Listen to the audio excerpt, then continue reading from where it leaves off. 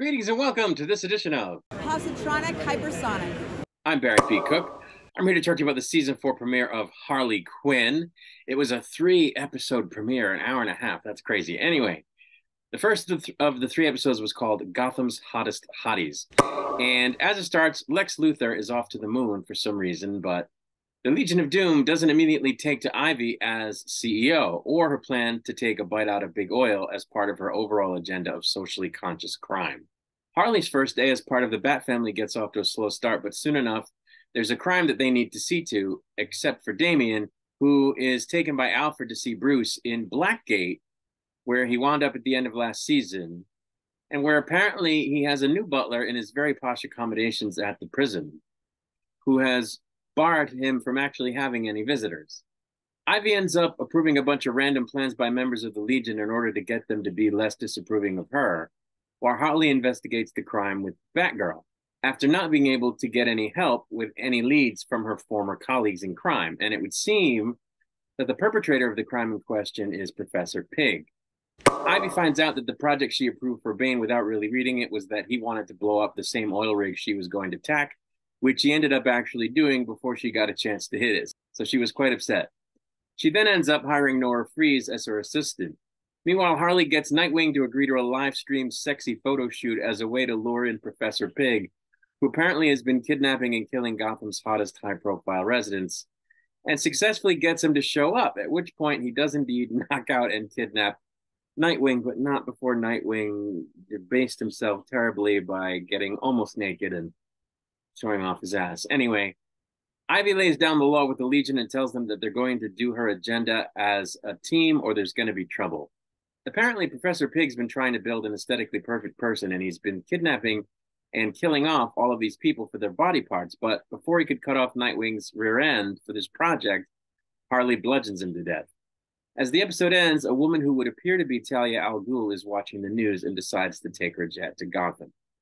The second episode of the premiere was called BITCH, and as it starts, the Bat family has to remind Harley that the Bat family doesn't kill people, which she really should have known because the no killing mantra was all over the place at the Batcave. But she somehow missed it. And when they realize that she's rough around the edges in a few other ways, the Bat family puts her with Alfred as his assistant for some training. It would seem that Ivy's new plan is to bankrupt the pharmaceutical industry, which constantly destroys trees and plants by testing on them by replacing male trees in the city with female trees, which I didn't even know was a thing, which would destroy the allergy medicine market because only male trees produce pollen. Talia al shows up, and apparently she's in charge of Wayne Enterprises in Bruce's absence, and she says that she needs to cut the bat activities budget a bit. She also gives Ivy a bit of advice about managing Mayor Joker, and it turned out to be quite helpful, but it also turns out that her youth serum is made from plant extract, and this displeases Ivy quite a bit. So she tanks Talia's company, which only makes her respect Ivy for her balls. Speaking of advice, Alfred advises Harley to be a bitch, which stands for breathe, identify the problem, tea break, consider your options, and handle it, which he says should help her show that she can do things the Bat family way. Then they go on a training spree that involves Harley learning how to stunt drive the Batmobile before Alfred attempts to rob a bank, and Harley has to stop him. But apparently, he did it because he wants to go to jail where Bruce is, but he ends up going to Arkham instead of Blackgate because apparently Blackgate is for rich people, which he isn't. Harley's reward for taking him down and stopping the crime is that she's let back onto active duty in the Bat family and is given a Bat outfit.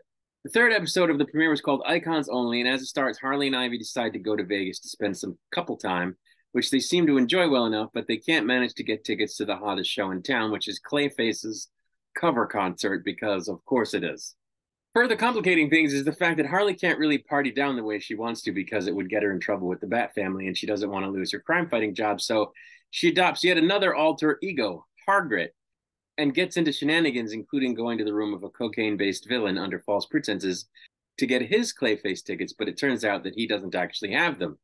So Harley and Ivy try to steal some from a cancer kid in his family, but it turns out that Clayface was impersonating the cancer kid to set a trap for them to catch them trying to get tickets that they said they already had, which he doesn't want them to have because Ivy wouldn't answer his emails previously. And they have a bit of a row over it, which Harley has to put an end to just before Shark King's wife gives birth right there in the same location. And Harley and Ivy end up becoming their godmothers because they were there when it happened. As the episode ends, Harley tells Ivy that she's going to move in with the Bat family, at least for a while, in order to really hone her hero skills. And Ivy lets her know that she's okay with it. So, this is a hard show to review because there's so many jokes and so many funny moments and so much crazy stuff that you really have to do it second by second to convey all the funny stuff that happens in these episodes. And there's just no way to take those kind of notes to, to, to, write down every joke. So the plot recap that I've just done is very basic and leaves out a ton of funny stuff that happens in the episode. Like, you know, the photo shoot where Nightwing is practically naked. Harley is dressed up as a old timey photographer, complete with a handlebar mustache and an ugly sweater. And, you know, she's just saying crazy things to get him to do different poses for the camera. And, you know, there's a bunch of funny stuff with Bane. And, you know, there are moments with the Shark King and his wife that are kind of funny. It's just to get into all that would make the recaps really long and overly detailed. So it might not sound like the show is very good from my recap, but it really is. It's very funny and, you know, off the wall and crazy. And I just enjoy the shit out of it. but it's the kind of thing you'd really have to check out for yourself to get all the jokes and and you know to experience all the funny moments but it's it's very funny. And you know i'm going to continue to watch it and continue to do breakdown and review videos for it and try my best to convey you know the funny parts and and what i like about it. Another thing too is there's a lot of like cameos from all kinds of comic book characters classic comic book characters. There's a moment where captain boomerang comes up on screen Captain Cold introduces himself to Nora Fries, and it's kind of funny because she kind of instantly falls for him, which, duh.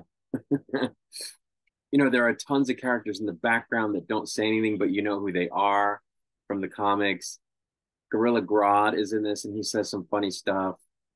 And, you know, that stuff goes by like this while the episode is running, and it's just impossible to take it all down. So it's just something you really have to watch. And if you're a fan of the Batman universe and you know uh, the DC verse, in fact, because it includes characters like I said, Captain Cold and Captain Boomerang, which are Flash villains. Then it's something you're really gonna like, because it's really a love letter to fans of that stuff, and it pokes fun at it, and it, it's just it's a really good you know show and i'm glad it's back for a fourth season and you know i'll be back with more breakdown and review videos for this season as it continues to be released on max for now, I'm going to get out of here, but until I return, I wish you peace and long life.